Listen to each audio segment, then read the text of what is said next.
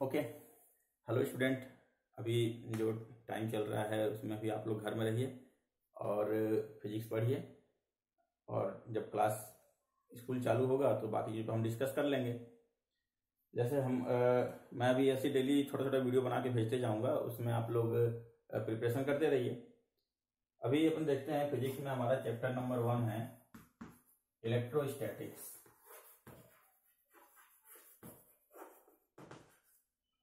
What is electrostatics चलिए electrostatics is the branch of physics in which we deal about the electricity due to charge at rest इसमें हम लोग कोई भी charge अगर rest में है तो उसके इलेक्ट्रिक फ़ील्ड के बारे में स्टडी करेंगे।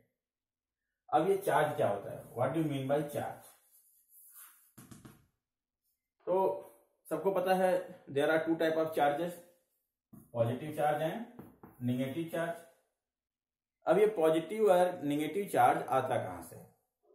एक्चुअल में जब हम कभी भी जैसे एक प्लास्टिक का पेन लिए, इसको अगर मैं हेयर में रब करूँगा हेयर में रब करूँ, और इसको मैं ले आऊँगा toward small piece of paper तो ये पेपर को अट्रैक्ट करेगा। इसके पहले ये ऐसा नहीं कर रहा था। जैसे इसको मैं ले आया तो ये अट्रैक्ट किया। इसका मतलब इसमें चार्ज आ गया है। ये या तो पॉजिटिव चार्ज बन गया है, या निगेटिव चार्ज बन गया है। तो ये चार्ज आया कहाँ से?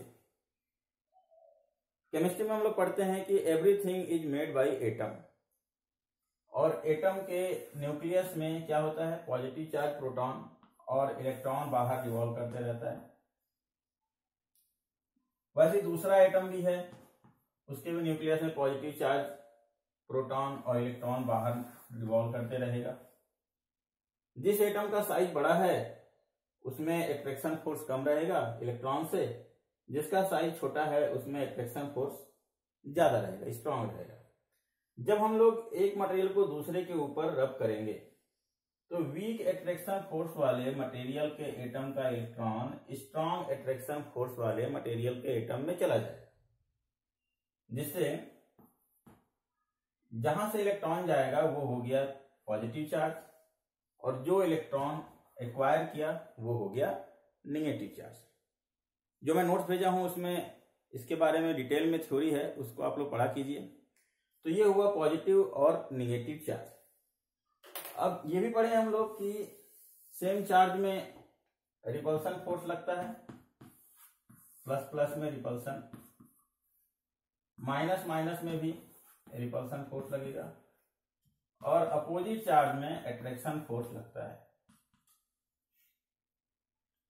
तो सेम चार्ज में कौन सा फोर्स लगेगा? रिपल्सन अपोजिट चार्ज में अट्रैक्शन तो ये जो प्रॉपर्टी है the property of any material due to which it acquire attraction और repulsion force is known as charge यानी अगर कोई मटेरियल का जो प्रॉपर्टी जिसके कारण वो दूसरे मटेरियल पे एट्रैक्शन या रिपल्सन फोर्स लगाता है, उसी को बोलते हैं चार्ज इसमें एक नया टॉपिक है that is known as quantization of charges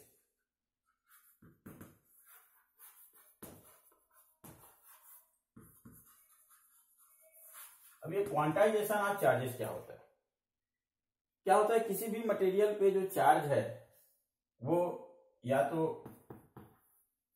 plus ई रहेगा, या प्लस टू ई रहेगा, या प्लस थ्री ई या minus e minus two e या माइनस थ्री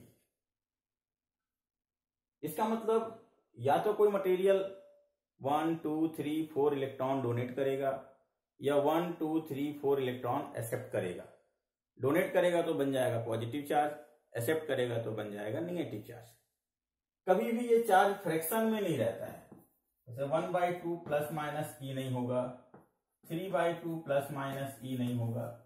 इसका मतलब कोई भी मटेरियल हाफ़ पार्ट या फ्रैक्शन में इलेक्ट्रॉन को न तो डोनेट करेगा और न ही एक्सेप्ट करेगा। दिस प्रॉपर्टी और this theory is called quantization of charges quantization of charges ये बोलता है कि किसी भी मटेरियल पे चार्ज, इलेक्ट्रॉन के चार्ज का इंटीजर मल्टीपल होता है। यानी Q equal to plus minus n e where n equal to number of electron ठीक है? And e is the charge of electron nine into ten to the power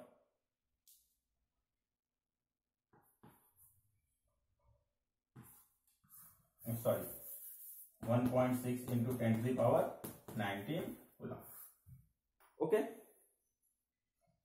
electrostatic में एक जो basic जो law है, जो हर जगह अप्लीकेबल होगा that is known as coulomb's law